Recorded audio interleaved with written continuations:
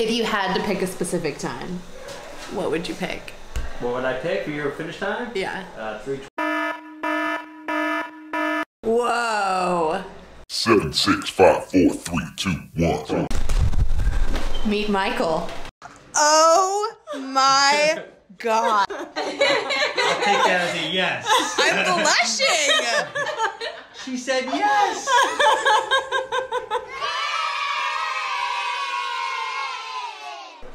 I'm on my third PT here at Finish Line.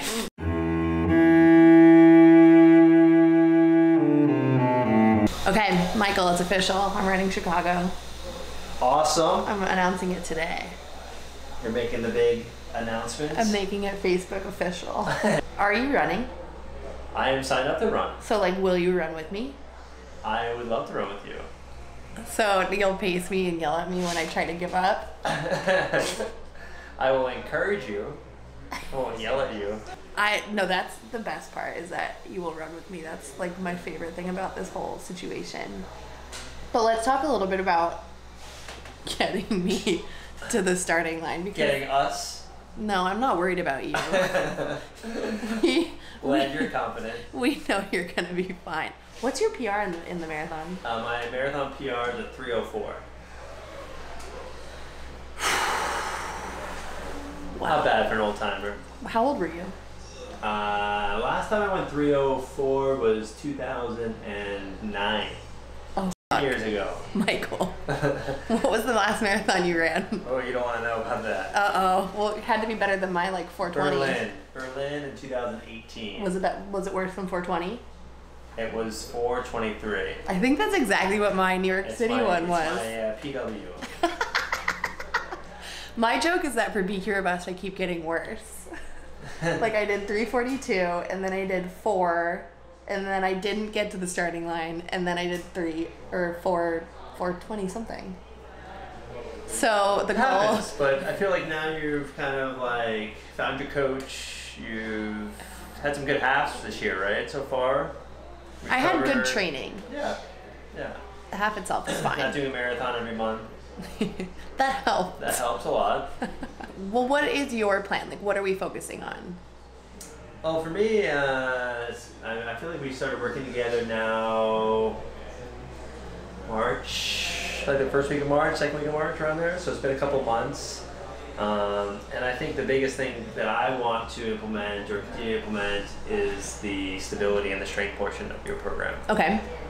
I'm not worried about what you're doing in terms of training. I think, uh, based on what you've told me, I feel like Rebecca has a very similar training philosophy that I have, so Yeah. I like that. Um, I like a lot of the, the training aspects that she's uh, incorporated, which is great. Um, but I'm a big advocate of strength training for runners. Yeah. And I think that just has to be a lot of body weight type of things, uh, doing things uh, that are more functional, upright, standing, three dimensional, uh, making sure that you're, I hate using the word recruit, but recruiting the same or the correct muscle groups, right? Like Yeah. When you're, everything's one system, so everything's working together. So just keeping the, the posture alignment with the breathing exercises we're doing with the posture restoration uh, exercises, and then making sure that the stability and the strength components are there for when you're running such a high level activity, right? Yeah. And especially with marathon training, you often get a lot of people talk about, oh, I, I did, you know, the training, I was did so well, but race day comes, and a lot of that is so un, unknown because of the mileage at the end, right? Yeah. And it often comes down to the strength aspect. People just fatigue really quickly. And so I can relate. Yeah, yeah. Been there. Happens to us all. So, you know, it's it's the the combination of, of training appropriately and doing the correct mileage in terms of volume, uh, but also getting in those strength workouts that you know I do at least twice a week. I can say I've never taken strength more seriously in my life. Yeah, yeah, like, and I thought have before. New York City I was pretty intense, but like this, the last like at least ten weeks. Ten weeks, yeah. Although my Loch Ness Monster abs are not showing, and I still don't have an arm line, so I think it might all be bullshit. Yeah. Yeah, it's, it's strengthening for the activity of running, right? That's what your sport is, so that's what we focus on.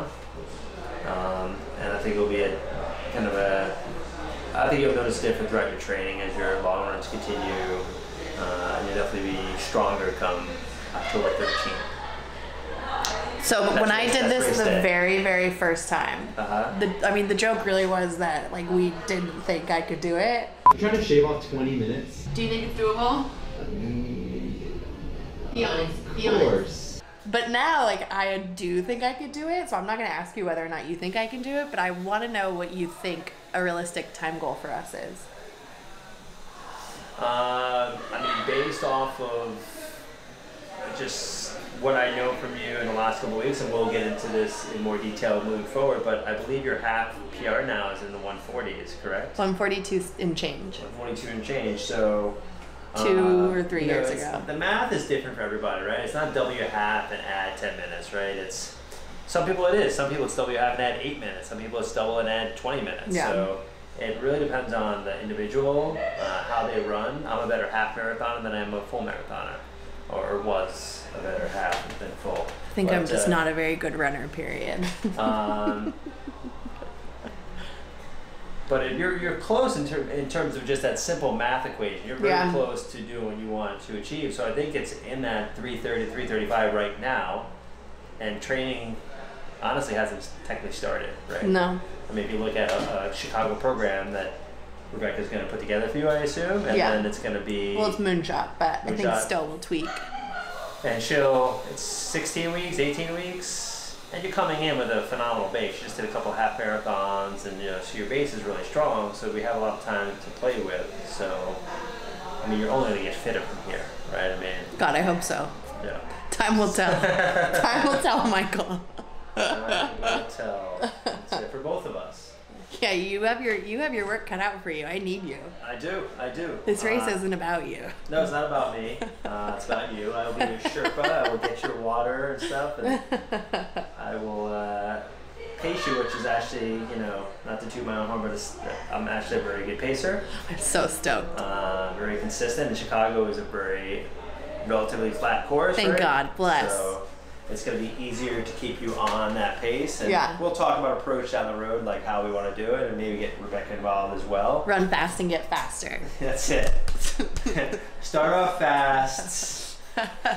Pick up the pace and then sprint at the end. It always works. Or not. But I think, you know, for most people, I think it's either going to be in Chicago a, an even split or maybe even slightly negative split. If you had to pick a specific time, what would you pick? What would I pick for your finish time? Yeah. Uh, 328, 32. Whoa. I'm gonna say 210. what's, what's the current world uh, record for women? 215? I think I'm just gonna blow it out of the water. 214? Uh, I'm gonna Icarus it and steroids. I do own a pair of the Nike 4%, so I'll have to wear those. All right. and we'll be in. Michael's my new PT because Rachel left me. Rachel left, traveling Europe, living life. All right, Chicago. Let's do it.